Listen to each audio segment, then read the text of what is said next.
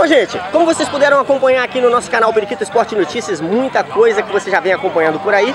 E é claro, como você tem visto, nosso objetivo é mostrar a história da Desportiva de Pedra Corrida, que hoje comemora 40 anos, que hoje comemora 40 anos de muito futebol, de muita história no futebol amador do leste de Minas Gerais. E é claro, encontramos não o senhor Milton, que foi o primeiro treinador da Desportiva, mas encontramos Marcos Bobô, filho do senhor Milton. Marcos, fala pra gente, como é que é ser filho do primeiro treinador da Desportiva de Pedra Corrida? Rapaz, foi uma coisa muito graficante pra mim, né? Meu pai foi o treinador aqui, foi um cara que gostava de futebol, né? Ficou na história o seu Milton aqui na Pedra Corrida Desportiva. Ele ganhou muito troféu aqui, aqui em, em Pedra Corrida, entendeu? Nós fomos campeão várias vezes aqui, com essa turma boa que vai entrar em campo agora, esses veteranos aí esse pessoal que veterano que teve aqui. Aqui só teve jogador bom em pé da corrida. E hoje nós estou agradecendo aqui de poder falar pelo, pelo meu pai, né? Que foi um, um grande pessoa aqui em pé da corrida, uma pessoa que gostava do futebol mesmo, dedicava a vida dele ao desportivo de pé da corrida.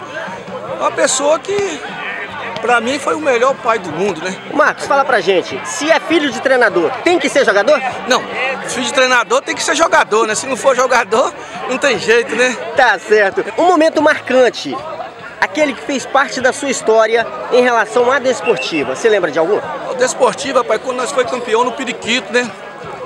Com o time do com o seu Milton sendo treinador, nós foi campeão lá invicto sem perder para ninguém. Entendeu? Aí foi foi invicto pé da corrida. Certinho, Marcos.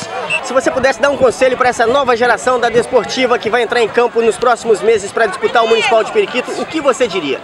Oh, rapaz, o que eu diria para eles é que eles têm que jogar com garra mesmo a camisa, igual nós fazíamos, porque nós jogávamos com garra a camisa mesmo. É porque gostava desportiva mesmo, a gente jogava porque gostava, pra, com amor a camisa mesmo, entendeu? Então eu passo para eles isso, só força mesmo para essa meninada nova aí, que eles dedica mesmo com força, seja campeão e marca aí para nós aí a graça de ser campeão. Ó, acabou de sair um gol ali, a gente entrevistando aqui. O Marcos, fala pra gente. Ah, já, já entrou em campo? Não, ainda não. Eu só fui lá tirar umas fotos, porque nesse momento eu não estou podendo jogar bola mais, né? Tô com os probleminha aí. Mas eu vim só participar com a rapaziada mesmo pra. Entendeu? Tá certo. Pra marcar presença Isso mesmo. é o que é o mais importante. Marcos, muito obrigado pela participação aqui. Parabéns. Nossas homenagens rendidas ao seu pai, que faz parte da história da Desportiva de Pedra Corrida. Obrigado. A você também, que está aqui aos 54 anos de idade, fazendo parte da festa de comemoração dos 40 anos da Desportiva de Pedra Corrida. Muito obrigado. Tamo junto, Bobô. Tá aí. Tá aí, o cara trouxe até torcida organizada, viu?